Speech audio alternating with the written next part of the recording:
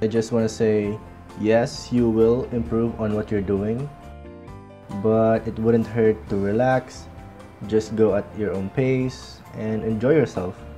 Enjoy your art. Hey, what's up, you guys? Mikomiks here, and if you don't know me, I am a comic artist, illustrator, a multimedia artist here in Batangas. So what is happening? I'm right here in my, at my desk in my room and we're gonna draw um, Sleek. Sleek is a chicken who has an afro and he's a samurai. Alright, I don't know much about this character, but I did saw uh, saw him in my feed. It's made by uh, Creon Chicken, if I'm not mistaken. And yeah, at first glance, uh, I, I really want to draw this character, and then apparently there is a contest for drawing this chicken. So, hell yeah, man. Because you know, this chicken is so cool. And yeah, um, despite my busy schedule, I think I can fit in one hour or two hours worth of work and shoot it while I'm doing it. So I'll show you a bit of a little bit of my process. Um, just raw stuff, just uh, taking up from here and yeah let's uh, see where it goes okay so before we start just to clear things up a little disclaimer if you will. This is a video that is targeted towards uh, beginners or people who are just starting out with drawing. This is a tutorial for them so the tutorial may be slow or it may be like maybe obvious to you advanced people out there. But if you're not a beginner or if you're not an artist and you're still curious of what's going to happen in this video or if you're curious about the process, then please feel free to watch till the end. Okay guys, so welcome to my screen. Apologies if my voice seems to be distorted or if it's not pleasant to hear. It's because my mic it's not working at the moment. So yeah, uh, but let's just you know carry on with it. Alright, so the first step that I usually do when drawing unfamiliar characters is that I get to know them first. So research up a bit. So sleek, Creon, chicken head. Alright. So I usually do this uh, with fine arts or uh, if the character is and I don't know the character or if I really want to get a sense of the character's detail. So I get to know them first, uh, usually in Facebook or in in, uh, Instagram wherever I found the character first but you know uh, for simplicity let's just go to Google Images. If you're into like aesthetic stuff like design wise uh, you know go to uh, other websites that cater to that like um, designinspiration.com if I'm not mistaken maybe Pinterest. But you know for clarity's sake just let's just go to Google Images. So here are the pictures of our character. It's kind of um, minimal actually but you know whatever works. Um, alright so get a feel for your character. Um, what vibe are you getting? Um, this is important so that we know how uh, the mood of your drawing is gonna be later. I get a feeling of badassery in this image and um, at the same time maybe peaceful peacefulness. Uh, maybe this character is really calm anyway I guess there's no pictures uh, left. Oh this one's got out but alright. After you've done your um, uh, research um, after you've done your um, vibe check of the character um, search for the pose that you want. So for me I don't want any more standing characters just uh, idle. So uh, let's search for a different pose since this chicken is a samurai let's just go for the obvious samurai pose. Hi. So here are the poses that I'm gonna be working with. I'm just gonna search for the right feel or the right um, right pose. This one looks interesting.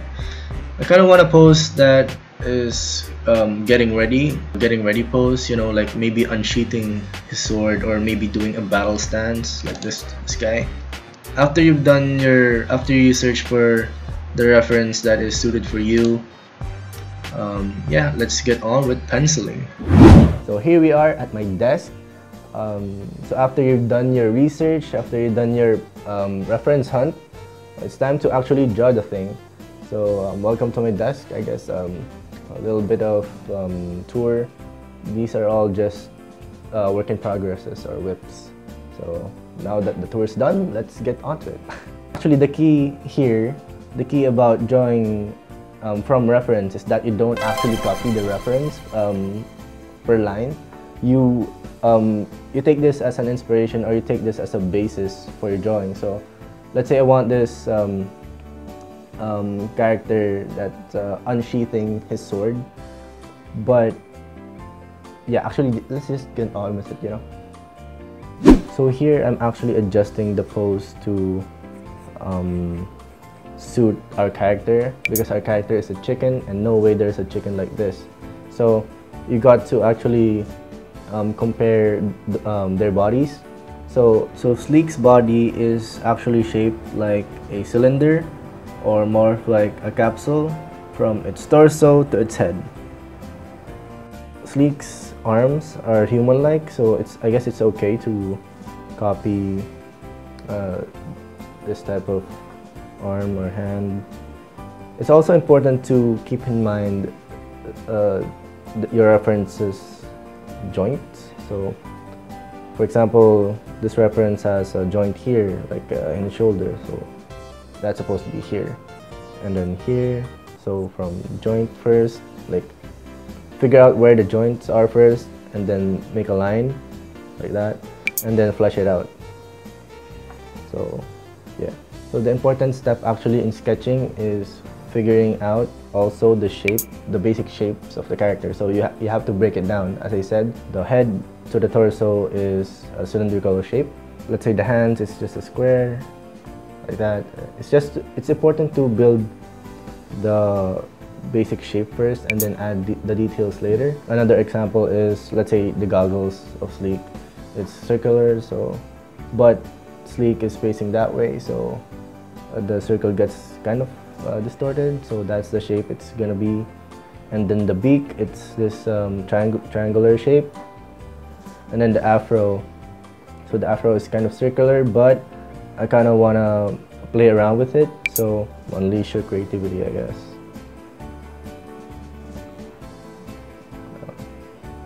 So it's kind of rough at first in this penciling stage, but you know, it's gonna get uh, more tighter and tighter. I think this one's finished. Uh, this is kind of loose, but I guess this is okay. So, alright, once you're done with your pencils, it's time to move on to the inking stage. The inking stage is actually my favorite part of the drawing, uh, of the drawing process. It solidifies your work and it makes them pop, you know. So grab your tools, grab your pens, inks, and whatnot to start the game. So for inking, I'm using the Speedball Super Black. So I take my brush, I use any type of brush. I use uh, Soy Blue Blanc Extra. This is in French, so I don't know. So um, doesn't matter. Just dip your brush into the bottle of ink. Um, yeah, and let's get loose. When inking, it's important to have a scratch paper around your drawing. This piece of paper will shield your ink uh, from creating a mess. But I'm still creating a mess, so I don't know. My inking evolved back then, like last year or last two years. I am super meticulous with inks. I'm super like uh, uh, accurate. I want to be accurate. I want to be like uh, super smooth. But I realized that um, making a mess or like um, being loose with it actually gives it more authenticity or more more like a it gives a raw energy to it you know uh, first I start with creating super black splatters um, in the shadows for the shadows I mean sorry so just like that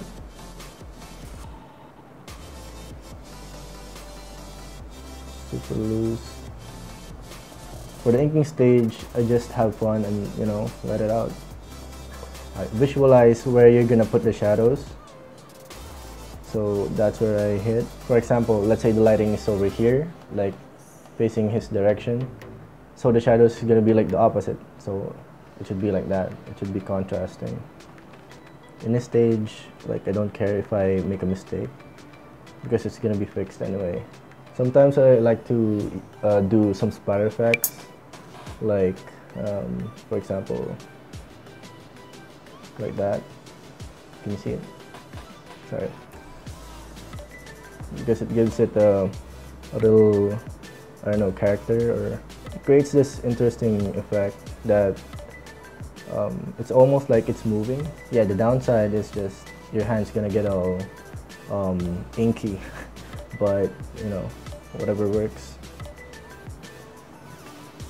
Uh, this one's looking sweet. So the next step that I do after the heavy blacks is uh, grab my um, what's this pilot pen, pilot uh, parallel pen. O maging itim. Bago mo yunti-yunti na ang dumidilim Sa pula, sa asul, sa puti o maging itim. Bago mo unti-unti nang dumidilim Ano ba talaga ang meron ka? Bakit ikaw ang hinahanap sa tuwing ako'y nakatulala? Kung minsan pa'y pampatanggal ka ng kaba Sa usok mo ako'y nagpapadala? Pagka gising sa umaga, ikaw Yeah, ang um, another tip, na if- Since this is paper, it's not like um, it's not a mural. It's not fixated to I can't. It's not fixated to a wood or cement or anything. It's just paper. So do the angle that uh, you like the most.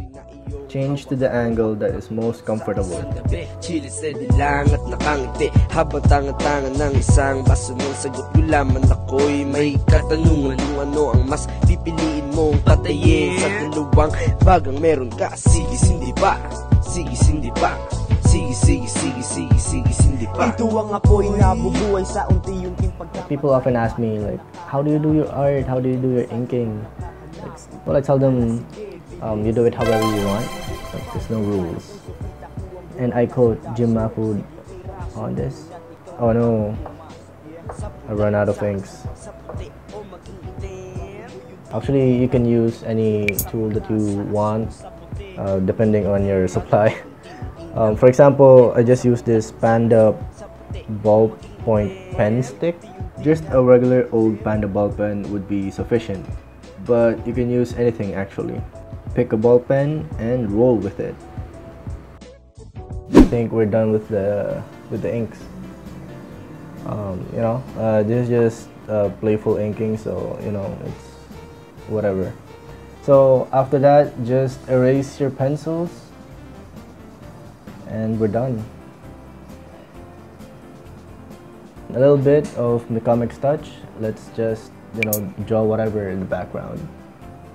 Like uh, you know, let's put some stars here. Play around with it. It's important to have fun with your craft. Some artists are too uptight to the point that they don't enjoy what they're doing anymore. If you're an artist like that, I just want to say yes, you will improve on what you're doing, but it wouldn't hurt to relax, just go at your own pace, and enjoy yourself. Enjoy your art.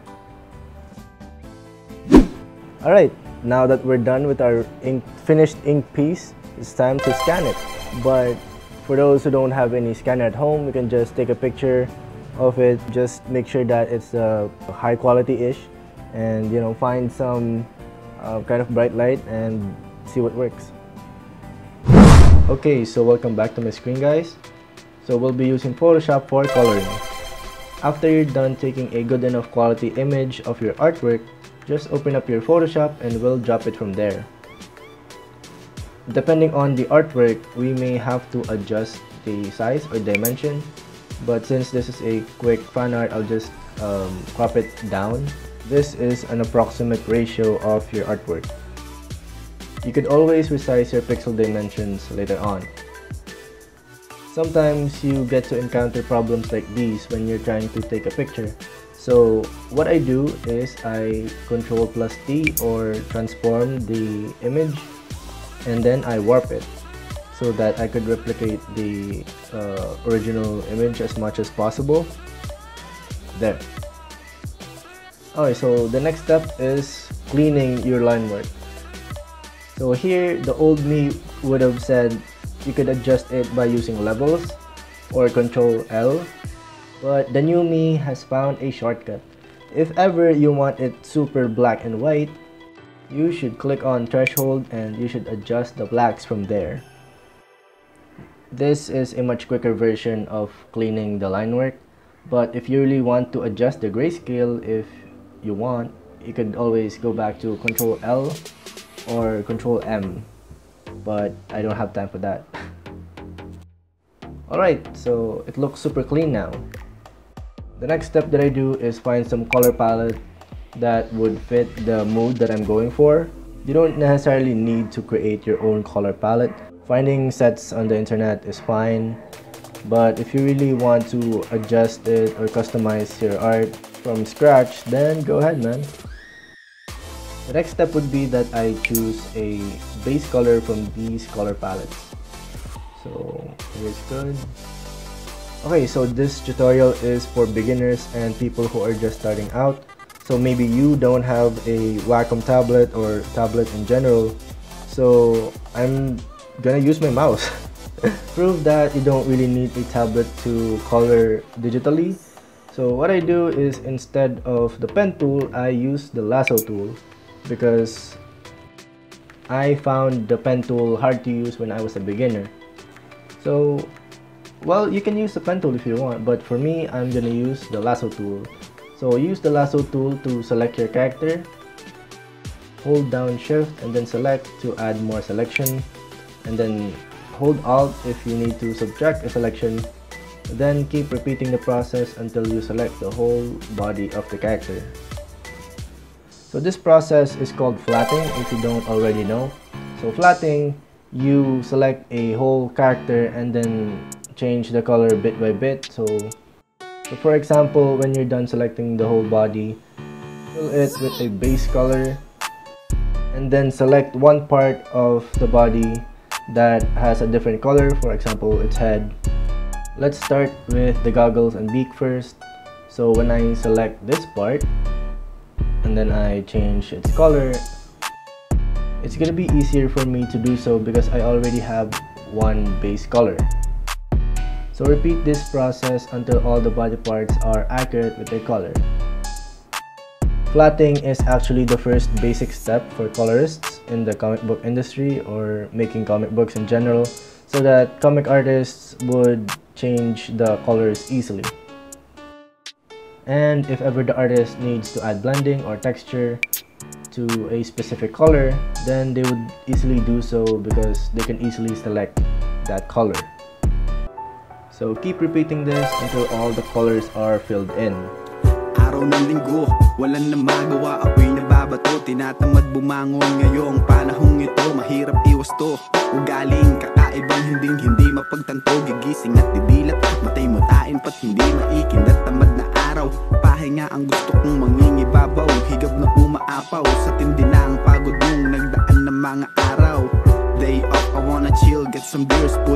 put make it chill. I am lazy, I just wanna watch some scenes Sa Netflix na dapat lang na maaliw.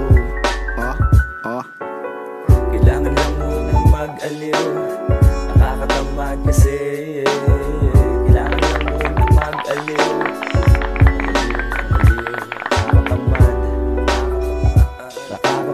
And that's a wrap. So thank you for watching this long ass video. Uh, super sorry because it got this long because I didn't saw the time. And yeah, hopefully you learned something out of this um, what 18 to 20 minute video. Comment below if you have any further questions or if there is a part of the video that's unclear to you. So comment if you have any suggestions or if there is a topic that you want me to discuss. If there is a topic that you want me to teach you guys. Uh, that'd be cool. Um, yeah, um, inform me by commenting down below. If you dig my stuff, if you like what I do, um, follow me at social media at Hey Comics, Facebook, Twitter, Instagram. Yeah. Also, I like to take this time to announce that I have a website, guys. What? It's super exciting for me because you know it's it's it's kind of like my digital house or something. I have a personal space in the internet, so that's really cool. If ever you're curious or if you're interested to see it, uh, visit mikofernando.com. So Yeah, I also like to announce that our thesis, Understanding the Rise of the Batangas Hip Hop Scene, is now in motion. So me and my boy Herbs are now planning for it as early as now, even though school haven't started yet. And together with RAP or Revolutionary Art for Peace and 413, we're gonna host a little something for you Batangas enthusiasts and artists out there. For now, it's a secret, but do stick around and we'll update you. Again, thank you for watching. I hope you learned something and see you next time. Inaliw na ang sarili, bumangon na sa kama. Inunat ang buto, sabay harap na sa lamesa. Naghain ng pagkain na nakakagana. Nabusog na sa tingin kasi wala nang gana. Tanghali na bumangon, hindi makaramdam ng gutom Ang gusto mong mangyari ay matulog lang maghapon. Tamad na araw, sarap ang BigFernando.com